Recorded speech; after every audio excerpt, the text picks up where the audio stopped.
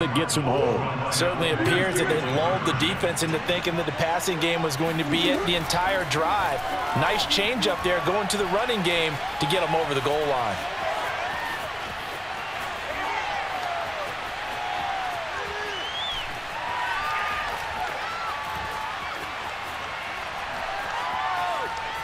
And he will get into the end zone to bump the lead up to three scores. So the signal caller doing it himself.